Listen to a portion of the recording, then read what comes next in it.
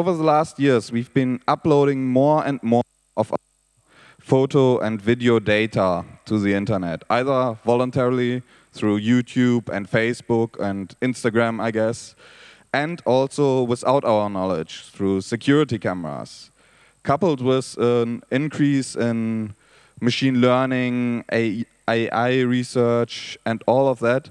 I think we are all quite concerned about the applications, but it's going farther than that.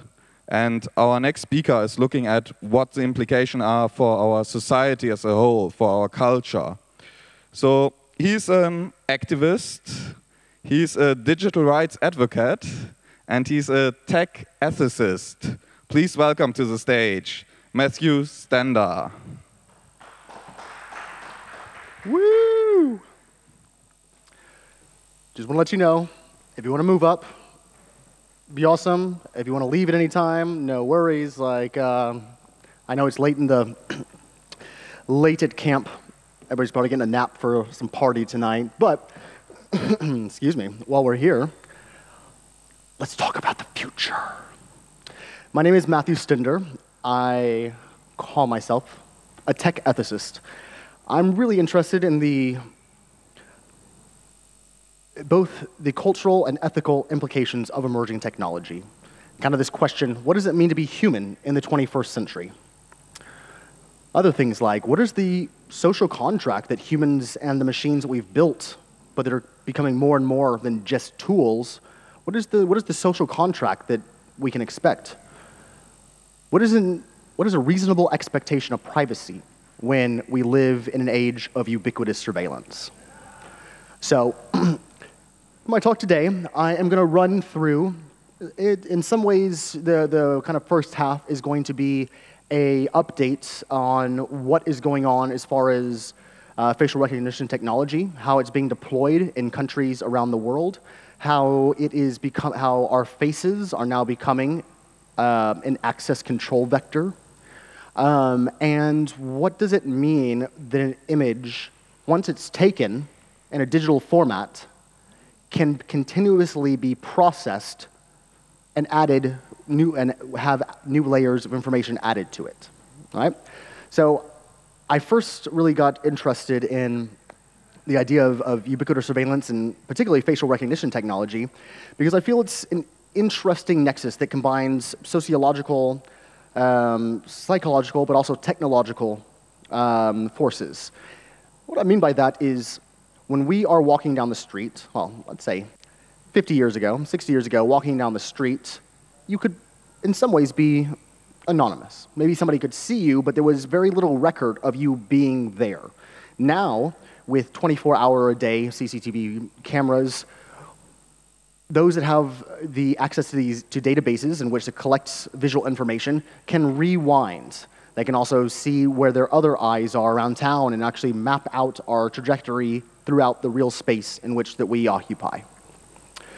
So, with that, um, this is going to be this is uh, six things from a talk that I'm giving in an hour and a half. But I wanted to start with this. Um, I have been working on a theory and call it hashtag mimics.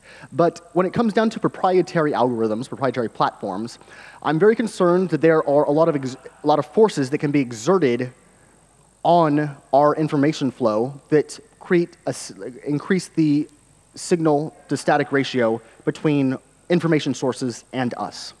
So this is a theory that, I've, that I'm continuing to develop. I call it MIMICS, and it stands for monitor, index, manipulate, intercept, censor, and silo.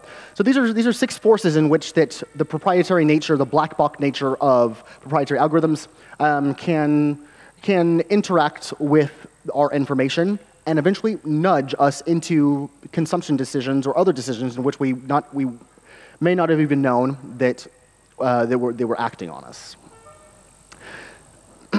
so, let's, let's take a look at this. When it comes to the mass proliferation of image and video technology uh, that, that is, uh, surrounds us, it is pretty mind blowing that 100,000 people, uh, nearly 100,000, or nearly, sorry, mil, nearly a million people log into Facebook every day. That um, 1.8 million snaps are created in an internet minute. I mean, Snapchat's new. Yeah, I mean, so I mean, I think that Snapchat has been very impressive in the way that it's been able to be outside, it's been able to resist, um, been able to resist uh, purchases by Facebook, and now has had its IPO. We'll see how that goes. I don't personally use Snapchat, but y'all have probably all seen at least a Snapchat interface in which an augmented reality layer uses vector mapping on a face in order to create filters. This is actually a pretty sophisticated piece of technology. Vector mapping, I think, is a pretty exciting thing. I'm going to talk a little bit about that later, but it just goes to show that now, as commercial products are being uh, put out that we use as fun, there also is technology that's being uh, developed um, that goes into uh, it goes into something like a Snapchat. So I mentioned this a little earlier. This is um, uh, this is uh, some bullet points, uh, paraphrase from a piece uh, in the New Inquiry by Trevor uh, uh, called Invisible Images.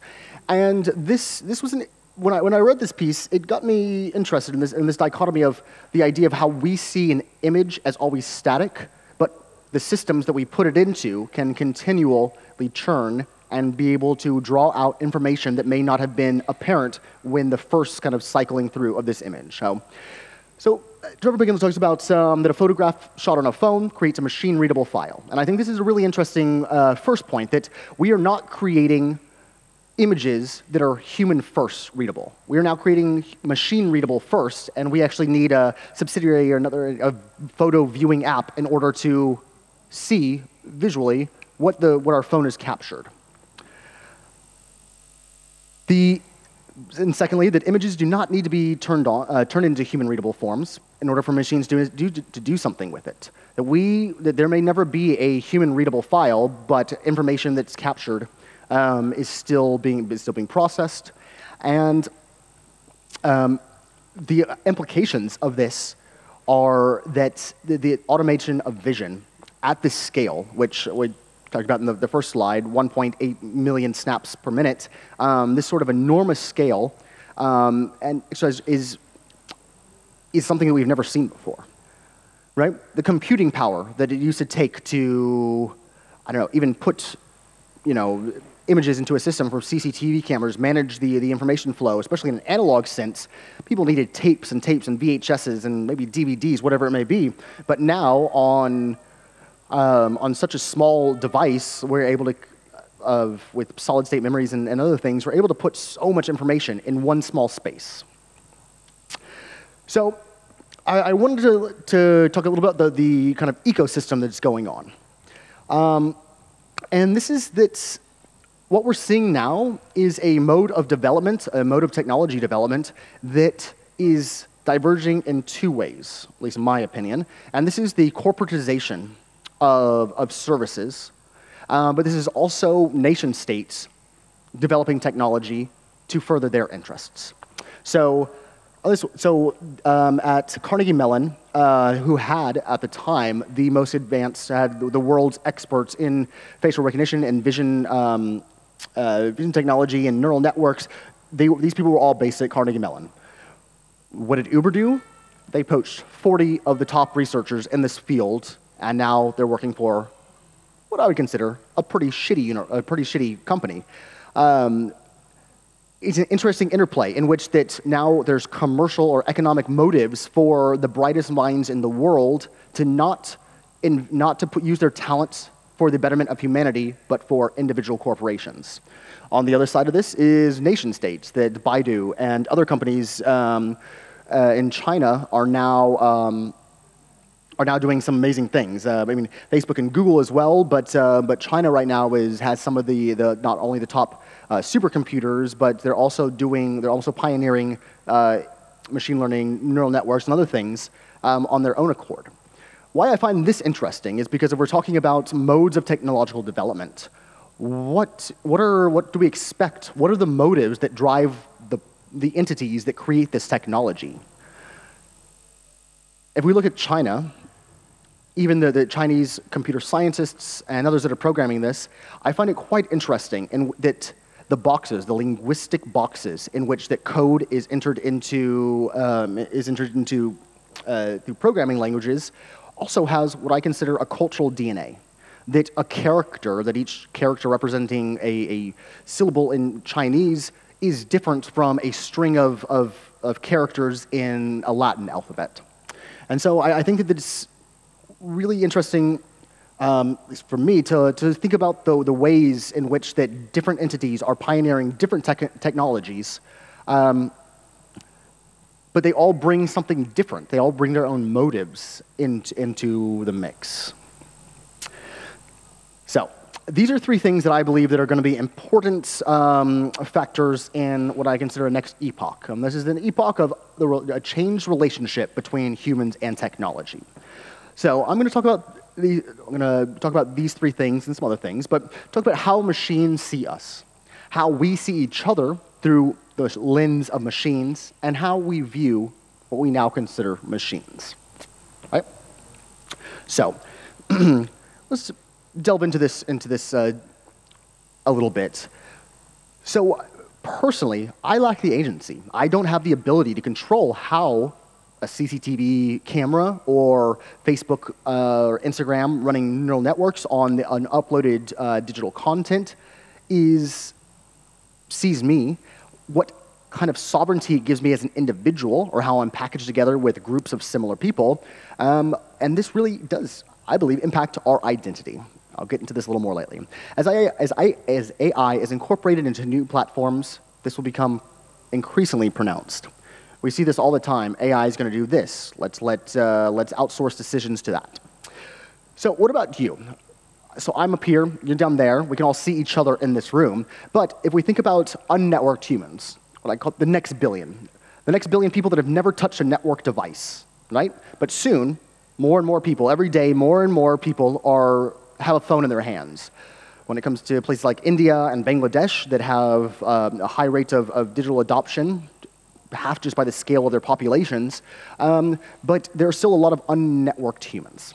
So how is somebody that is not even on Facebook or Snapchat or these other systems, how, what, what is their identity? What does their sovereignty of self look like in the context when they're still being passively captured, whether in the background of selfies or on CCTV or soon with self-driving cars that have both LiDAR and cameras around it? What are, what are what is the ability for people that are not inside of these corporate silos to actually control the way that they're seen? And ultimately, when I'm thinking about technology, um, you know, what are the communication strategies that we need to develop um, and the, the body of epistemic reality, this new, the way that we learn things, um, how will this inform um, humans when we're dealing with not just one type of AI, but many different types of AI that all have these optical nerves that are essentially digital eyes. So, machine learning, neural networks. So, Megaface is a database um, set up by a university in California, and it is like one of the most um, important test data sets. So it's a, it's a training set with over 4.5, 4 million photos um, with yeah, nearly a million uh, unique identities. And um, there's, so, so there's some overlap. So people are able to have different photos of themselves and this, are able to train things. Um, but it, I find it quite interesting that one database is kind of the standard for machine learning. I'm going to talk about um, how this is problematic and even the idea of why we need to further interrogate test data and training data. Um, but I just wanted to set this up there because this is kind of the premier. A lot of the um, a lot of the contests that are that are that are run use this this database, the Megaface database. So as I said, like we are getting more and like every day it seems um, that there are new developments inside of facial recognition technology, and a lot of these are done for corporate capitalists means. So Google is now um, linking offline, online habits and offline buying habits. Um, facial recognition technology um, is being used, it was being rolled out across the UK to, uh, to track uh, consumers. And um, I mentioned this, uh, Instagram has rolled out a neural network which now uh, looks at the background of photos and see where brands are and other things, and they're able to match up advertising ID with particular photos. But again, it's kind of weird. I upload something, and all of a sudden it exists outside of my control and can be crawled by, by multiple processes. I'm not going to talk so much about emotional measure measurement, but um, there's a number of factors. So emotional measurement, um, at least with this example, uses at least 10 data points per frame. Um, we have the, kind of the vectors on the face.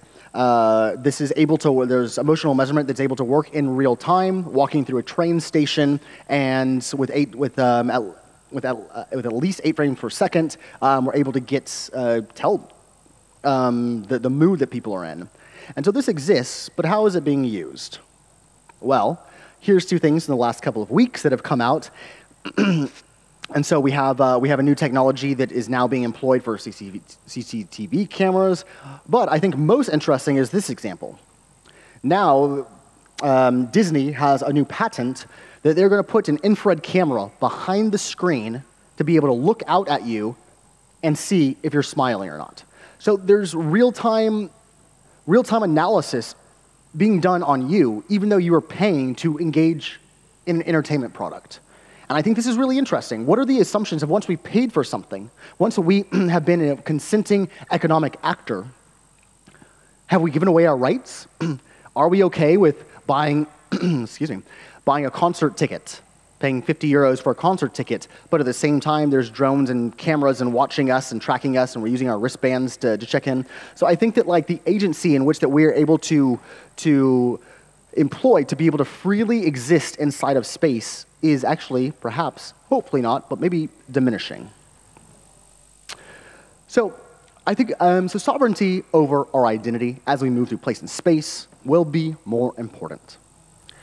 Uh, right now, a lot of things are fixed. They're stationary. We have Androids and Apples that are increasingly um, running more sophisticated technology on device, GPUs that then ping back to, to servers. But at the same time, once self-driving cars, automated vehicles come online, we're going to see more than just LiDAR, which is the satellite, which is the radar um, um, positioning that's used for kind of the cartography and the movement of space, but also see more images that are passed up once Tesla or Lyft or Uber in incorporates more images on their, their vehicles. When we're now on a street, we may get passed by four cars that all have a photo record of us being there. So now I'm going to talk about 10 different cities to say, like, to, to, show, like, we, we are now in the future. So New York City is adding facial recognition and license plate readers to its river crossings. You go from one borough, borough to the next, they're going to know who you are. This is not just street level surveillance. This is more than that. License plate readers um, are, are quite interesting in the sense that you can be parked and they can know something about it, but you, we cannot maybe draw a lot of conclusions from one particular license plate in one particular location. But through being placed at crossroads, at nexuses, at bridges, we're now, now those that have the power um, are able to now link up and see how often we go. Or they're able to create um, maps of our, of our daily commutes, these sort of things. Um, I don't know if you've heard uh, Palantir, which is the Peter Thiel's like big data company, um, actually just got into a fight with a New York PD, and so New York PD is actually not using them as a as a service provider anymore. But let's just say that this this is articles from October 7th, 2016, but the, Palantir was still a client of the New York of New York City. So we don't know. Maybe if you were in New York in the last six months, Palantir may have a record of your face, but you, we, we don't know that. Um, another time, another uh, this is a, an example of a vulnerable population that is being used as a, as a petri dish for this technology. New York City is going to use homeless or use facial recognition to, to track homeless people. So if you don't have a home, somehow your ability to not have your image taken is somehow decreased. Again, back to a social contract. We don't have a reasonable expectation of privacy when it comes to facial recognition technology. Berlin, where I live, um, in Südkreuz, uh, train station, there has now been um, a facial recognition technology rolled out on a pilot program, highly controversial, but controversy and public backlash did not stop them from doing this. And Berlin, Germany, is being actually a quite privacy-centric um, country. Um, this goes to show that this is, this is happening everywhere. Milan, um, the Milan Central train station, like, has a very interesting um, uh, new facial recognition technology program, but this is not for surveillance. It's actually a new ad platform. Right, so advertising totems in Milan's train station have facial recognition in order to collect passenger data without authorization. Um, again, going back to the different modes of development of these technologies, is it commercial is it a commercial development? Is it a national security development? Is it an economic advantage um, development? Um, is it something like emergency disaster response? Um, and so there's different ways in which this technology is being used, but as it gets more and more sophisticated, it is easier for large data sets or underlining code to be transportable. A few more. Japan grants aid to install face recognition systems worth $3.4 million in Pakistan's airports. Amsterdam, not far from here, testing facial recognition at boarding gates. Australia, say, oh, what if we uh, didn't have passports anymore? What if your face was your ticket? Again, British Airways BA is uh, using biometric scanners for faster airport check-in. And uh, the US administration has also fast tracked facial recognition in airports. China. Um, China is now incorporating uh, 600 million CCTV cameras. That's a shit ton of CCTV cameras, eh? Um, and there's some quite interesting, I don't know, this, this story here is one of my favorites. Somebody's stealing the toilet paper we could buy more toilet paper, or we could install a draconian facial recognition system to stop these people. So for me, this is one of those things that is about how do we, how are policymakers and corporate entities constructive, constructively working to solve problems? And I feel too often the answer is let's let technology take care of it. Let's slap some AI and video cameras on it. This will do, this will do the job. And it doesn't stop there. China is now testing, uh, is, is, using predictive AI to stop crimes before they happen. This is literally out of Minority Report, right? Ireland, where um, a lot of the large uh, headquarters for, for companies are, are based. Um, now, driver's license to, to vehicles, so now faces get automatically uh, inputted. A whole registry can be inputted and, and, and matched. India, the, the um, Aadhaar program, which is the new biometric ID.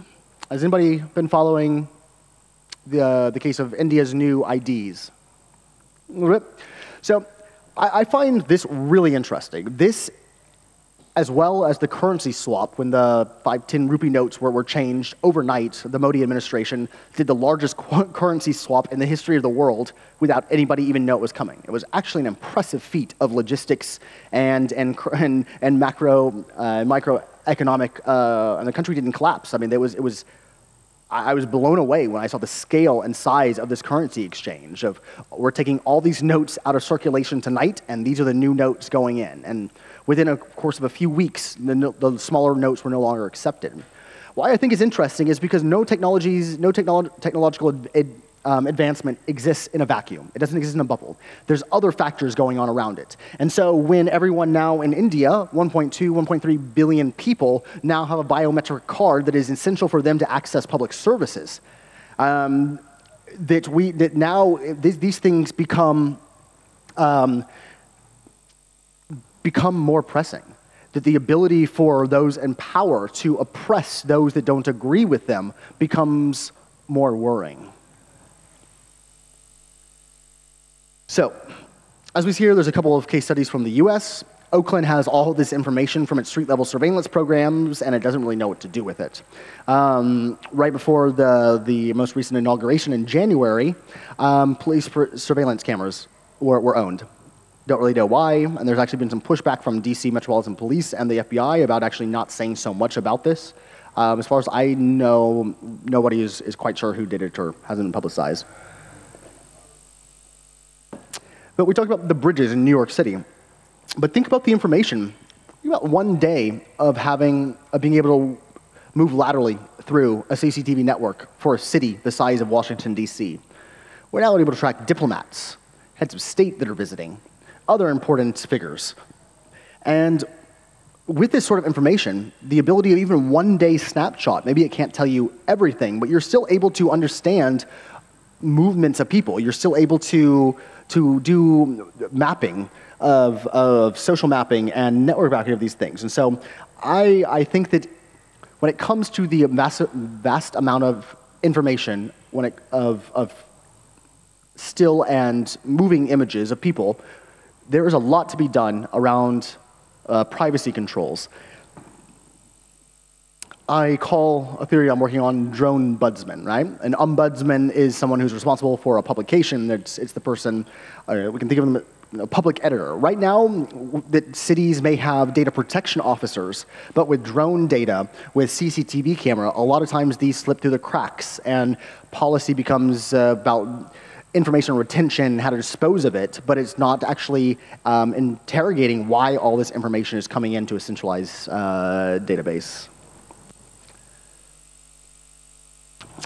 So, now I'm going to talk about like um, some other things going on. Um, Taser, which you probably know from pop culture of um, a non-lethal weapon. They're traditionally, I guess they come in two forms. One, a handheld that really gives out an electrical charge. The other have these uh, uh, nodes that go out and electrocute uh, someone who is being shot by them.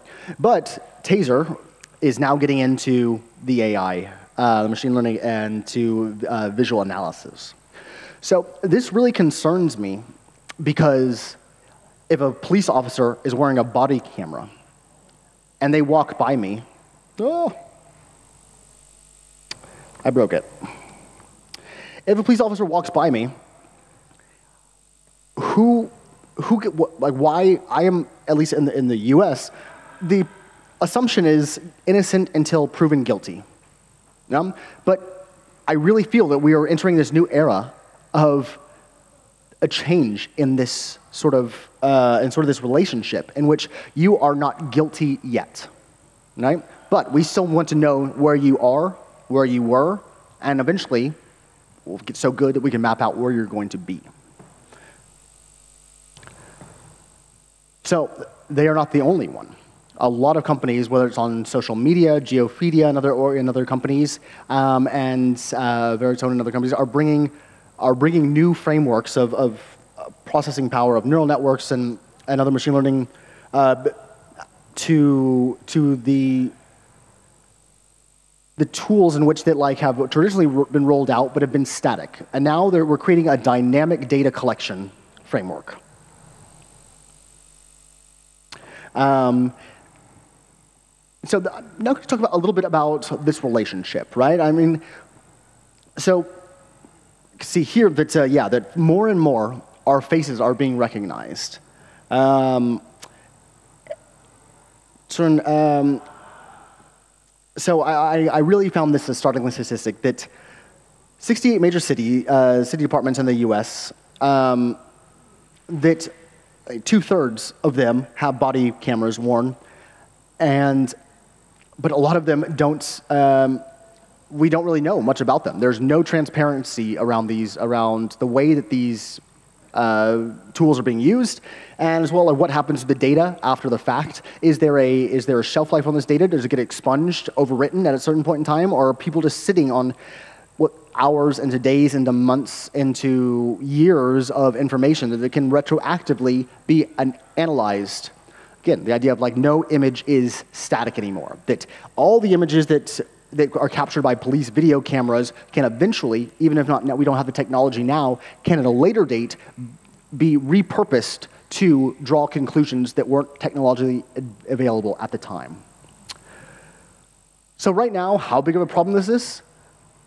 117 million Americans have their face in some sort of database.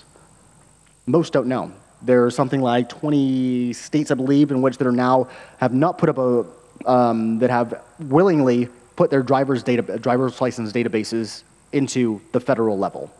Very little oversight, and as we've seen, sometimes democracy is pretty fucking stupid.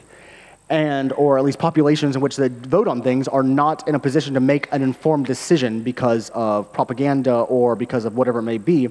But we are holding, we are putting the fate of our faces in, uh, we're putting the fate of our faces into institutions in which we not, may not always have our back. So again, are we really still um, innocent until proven guilty, or are the systems being created now really making us guilty until proven innocent? Right? I mean, right now there's active research being done in order to identify who's guilty. Again, some minority report shit. This is even further complicated by a few things that now, see that Apple and other companies are working on 3D modeling, on, on, three, on taking 2D images and creating a third dimension vector to be able to like see things, project things that might not even be captured by the original frames. We have drones all over the world. We're now, now people are working on um, real-time target um, and typing manifold algorithms for the, for the United States Air Force.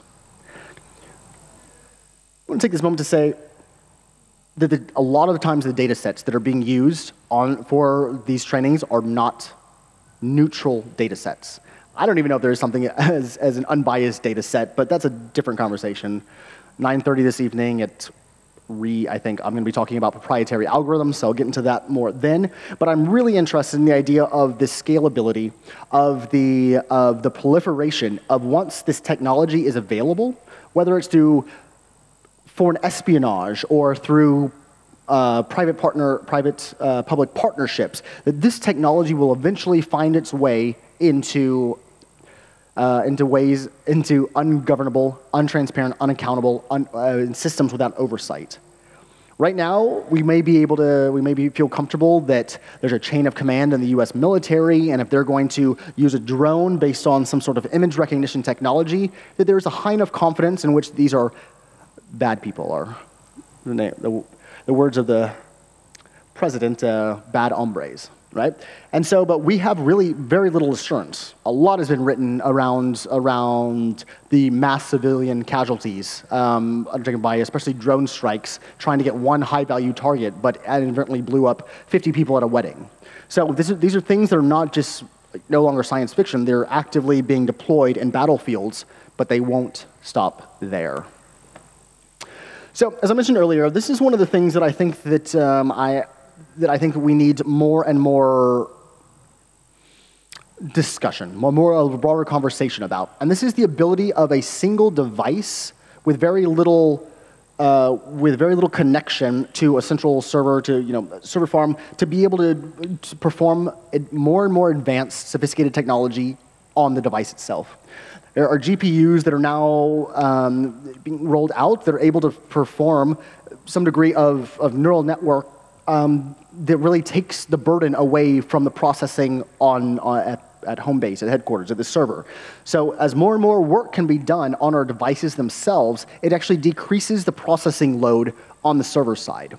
And I think that this is also quite interesting in the sense that the miniaturization of these technology is also a threat vector in and of itself. That no longer you need massive teraflop to run all these things if you can front load this computing on the, on the device itself, and by the time it gets to, uh, to server to the database, that like there's already inferences drawn.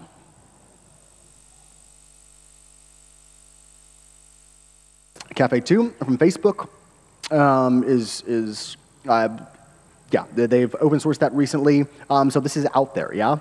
Um, Google's doing it as well. So, what is a little remix now and say that right now, seeing is believing in some ways, I'd say. That right now we see an image and we don't necessarily, we're not necessarily skeptical of it. But very soon, very, very soon, I believe that we are going to have to question more and more about the images that we see. Um, right? There's the relationship between us and our technology, and what does it look like to trust an image? Soon our eyes may lie to us. The Economist wrote a really interesting piece about this a couple of weeks ago. Um, uh, well, I guess last month, uh, July 1st, it was published, um, but kind of went into the, um, actually, I was taking a case from Julian Assange and, and, saying that, you know, how do we know that one person is who they say they are? What are, what are the resolution? What is the pixel resolution that we need in order to ensure that what we're seeing has not been manufactured, has not been doctored, doesn't have a vector layer on top of it that is, looks like somebody's saying something, but is in fact not? This goes hand in hand with the idea of like, um, after one image, as we get more precise about tagging and indexing um, and even creating metadata around images, machines don't no longer are needing less and less training data in order to quantify um, characteristics, if not state in a human readable form what something is. Um, this is interesting. There's some interesting work being done on satellite images. Um, and comparing a comparative analysis between time frame. So maybe before a flood and after a flood. But more and more automated systems are going on to match up and see where, um, to see what has changed. And so we're getting, we're doing this from, you know, from low Earth orbit, but at the same time, these same technologies are able to, to be, uh, well, probably eventually be able to rolled out in things like CCTV cameras. Um, I, I, mentioned this, like now that we don't actually have to see have our whole face seen by a system, maybe just a profile view. Now the, uh, uh, yeah, that, uh, that, iPhone is now working, um, and I think the iPhone 8 will even have more um, sophisticated technology to be able to, to render and re-render people's faces based on a incomplete sample. So, um, I think this kind of gets to, to what I really want to kind of get across is the emergent, social, the emergent social contract that has been forged between us and our technology is, under, is operating under asymmetric pretenses. That my relationship te to, to technology is not the same as technology's relationship to me. That our physical bodies have a contract with technology, even if we don't know it. And this, is the, this comes in the form of captured Im images, the services rendered, locations, but we're never really able to peer inside and see the technology that sees us. So quickly, who is developing a lot of this? On the private side, Megvii in China, Face++, uh, Blippar, which is a which is augmented reality, but it's also using facial also facial recognition technology, um, and FindFace, which is creepy as fuck. Um, FindFace uses the VK, um, um, the large uh, Facebook clone in Russia, and it has been used um, to basically identify. So the, the two male co-founders basically said, um, in the part of their marketing scheme, you can take a photo of anybody, run it through our system, and then you can find the profile of that cute girl that you saw at the bar and discover what she's into it's really creepy. And if we look at to, if we look at um, these how these uh, how these facial recognition, the real-time face recognition, um, is being marketed, people are smiling, and it's it's women like here, oh oh this is something like this is interesting, but there's very much a what I feel is a a phenomenon which is unhealthy. That there are males, there are tech bros, if you will, designing technology, rolling out marketing strategies, and, but it's not giving people the chance to say, hey, maybe I don't want to be in this system. Just because I have a VK profile, or maybe just because I have a Facebook profile, does not mean that I've consented to be discoverable in public. But this technology rolls on. Um, there's some really interesting stuff going on with um, uh, facial recognition when it or image recognition in the human body, um, automated uh, dermatologists, um, superhuman vision, these sort of things. Uh, this was going to the point I was saying that like there is real world replication bias, or that, that, the, that the bias that occurs in real life also has a knock on effect and has a replication a bias inside of our technologies. If we have no black people, if we have no people from, uh, if, if we have no women inside of a database that it is going to be less and less precise without less training data. But who's investigating? Who, who are our data interrogators? Who are our data ethnographers? Currently, I, I, I possess that we don't have. We have not built these, these roles into a de technological development cycle. That we have to do more as, as activists and as actors to think about like, how do we inject a, a stronger, stronger safeguards into, um, into these systems, but as well, how do we make sure that the data that we're using to, for testing and for training is as objective as it can be? So there are some things that we're doing. As more and more glasses and patterns come online, there are some really interesting ways to resist.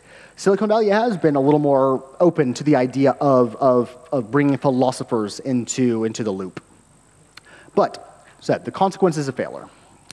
So, the replication of historical inequalities, the undermining of democratic and judicial institutions, profit maximization as a basis of future technological development, amplification of a global, global technological hegemony that is able to rival nation states.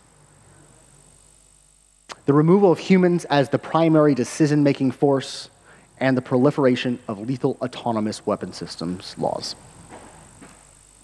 So, I just have a couple slides left. I'm going to open them for a couple minutes of quick Q&A, but uh, if anybody has any questions, I can start thinking about them now.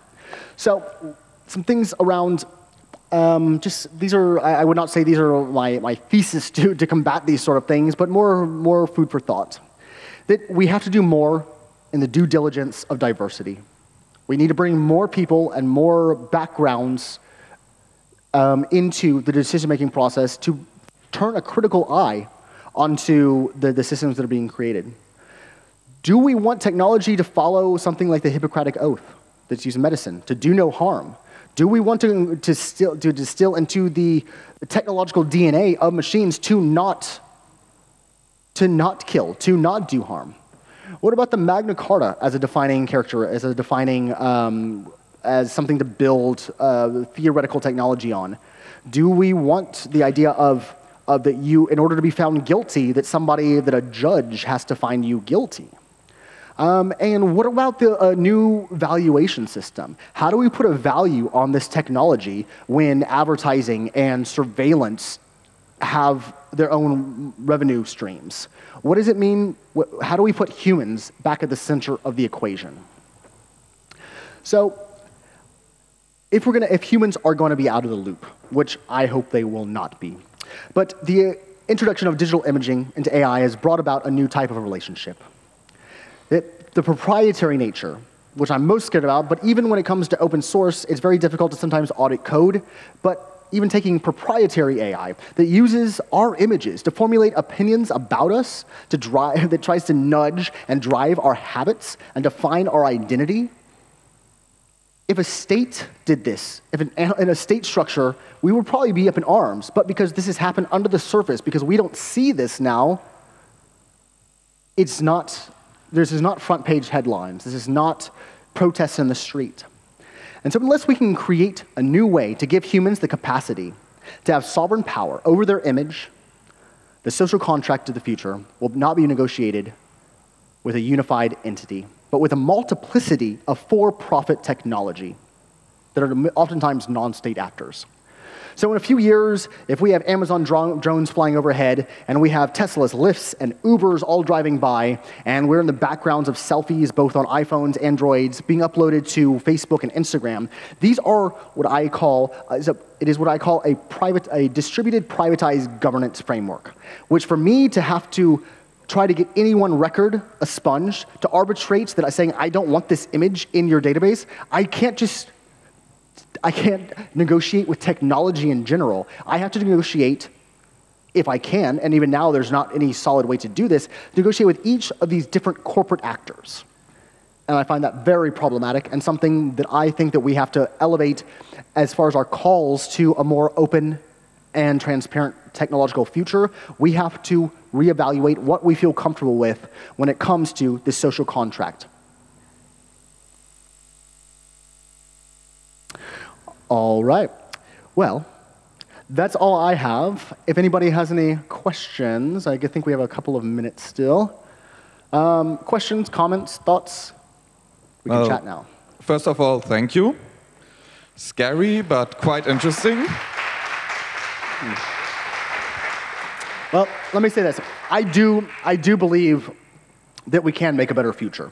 I am not jaded. I think that although the powers of the world, that companies with half a trillion dollar market capitalizations and nation states that have the capacity to end all human life, these are big challenges. But I'm not resigned to the fact that this is going to be the 21st century. And I think together, working on philosophical and ethical frameworks, the idea of at what, do, what level are we comfortable with enforcement, being able to mandate transparency inside of proprietary algorithms, is going to be a large conversation, but it's something we have to start now. Please line up at the please line up at the microphones. Hey, um, thank you. Great talk. For, I, I missed the beginning of it, but um, then again, I'm also in this field and I know a lot of the things you talk about. Um, and uh, it's funny to see someone. Usually, I'm on stage saying this, and now it's someone else. That's really interesting.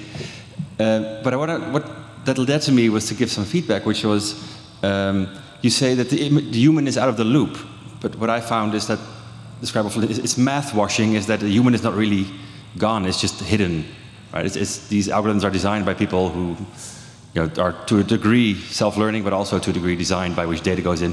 So these, they're not really gone; they're just hidden.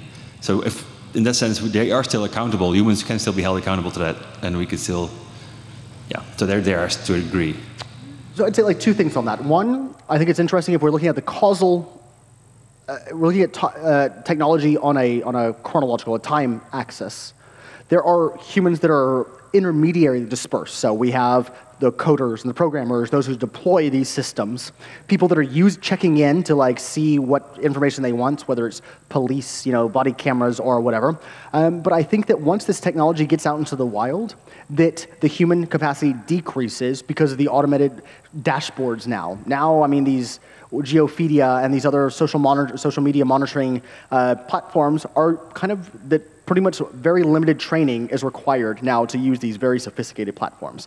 So I, I am not saying that humans are completely out of the loop, but at the same time, we're making more and more user-friendly tools that decrease the amount of technological know how to use them, um, and they're able to also export. I mean, we talk about Wassenaar and like uh, malware, you know, like uh, cyber weapon malware uh, um, research and and ex, uh, export licenses, but that's mostly kind of on the the digital munitions sort of side of things. But what's to stop a company in the U.S. or China from exporting a very powerful uh, facial recognition platform that requires that already is there in a dashboard and you just click here's our target and whatever so i, I think that I, I absolutely agree but i think that as technology we're actually it's we're, these systems are being designed for people that are not technologically advanced um, secondly i i worry that if we have not built in kind of benchmarks in which that data has to be erased, that information has to be reviewed, that the mass accumulation of information inside of inside of servers has a couple of drawbacks. One, it's uh, vulnerable to being compromised. What happens if, with the OPM hack in the US, what happens if, if a massive New York City database gets, gets hacked and now an, a state, an APT, like now is able to, to do their own mapping. And so I think that while there's still room for humans in the loop, humans have been deprioritized, and now Israel, China, and Russia are all developing autonomous weapons platforms that need no human interaction. And if this is based on facial recognition targeting systems, I find this that next level of problematic in which that you don't even have to push, nobody has to push a button anymore. And I hope that you didn't get mixed up as somebody else. At least in the US military chain of command, there's quite robust, I mean, it's not perfect and they, they're really bad at what they do, but um, with the civilian casualties that are caused around it, but there's now actively by nation states working to create systems that further bring humans out of the loop. Um, I, I definitely agree, but I think that if we are able to institutionalize, in kind of in a social contract way, what we expect technology to how do we expect it to be accountable, not just to those who make it or deploy it, but to the people that it inadvertently captures along the way?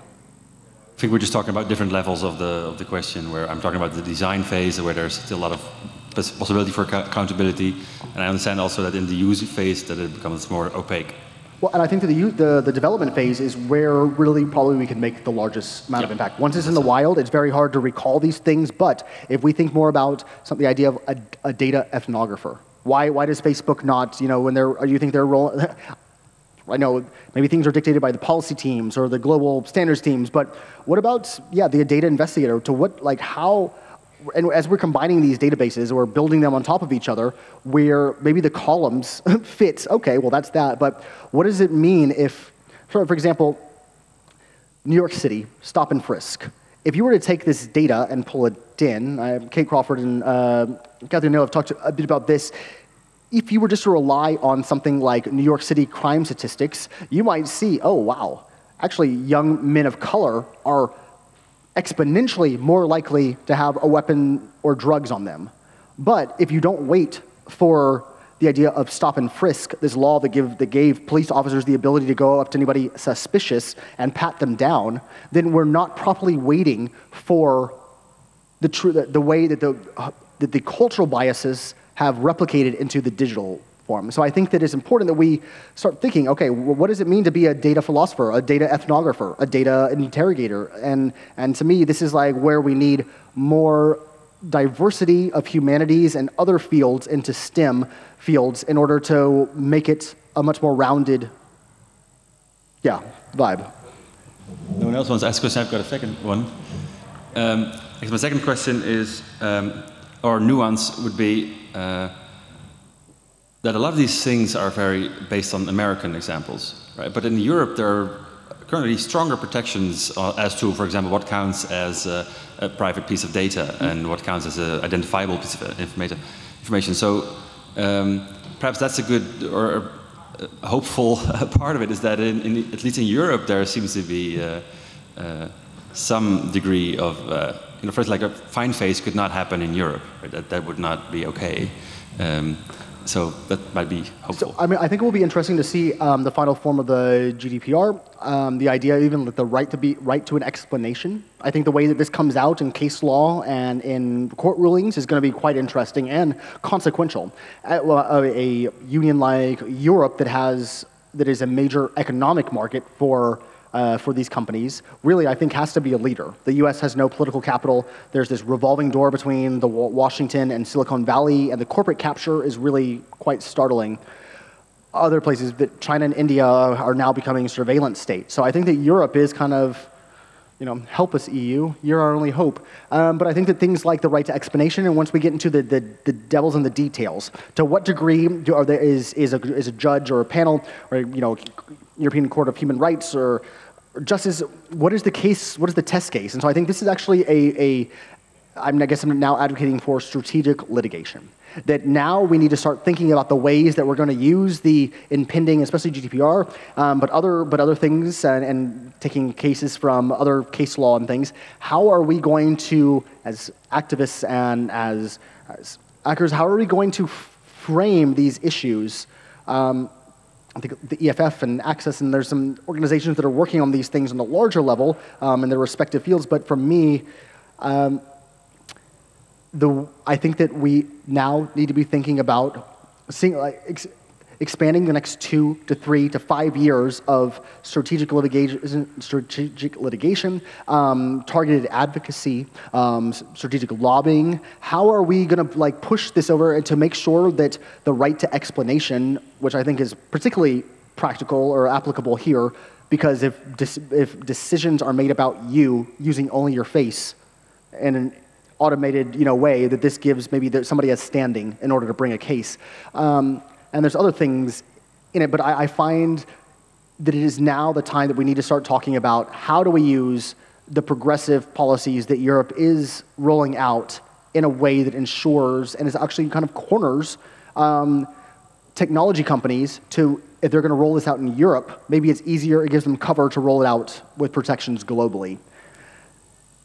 Very hopeful about is that. Um, I'm very hopeful about is that I'm starting to see that this um, field, this market, is well, they have, they have to use what they got. For example, there was a, a two weeks ago there was some news about people who got a physical mail, like you know, through their letterbox, about a skin condition they had, and they had only looked it up on the internet. So the connection was that there was are now uh, companies that will connect your the online anonymous browser with the real person who is, you know, where they live, and then and, and they are now sending those mails. So the, the point there is that people will start to see this invisible thing because they will start to get targeted quite rigorously, and then they will hopefully uh, awake, get awoken. And my personal hope is that as the market for, as people become aware of this, there will be a growing market for privacy enhancing technologies that you know, protect them in any way, or that this debate will come uh, in the next 10 years.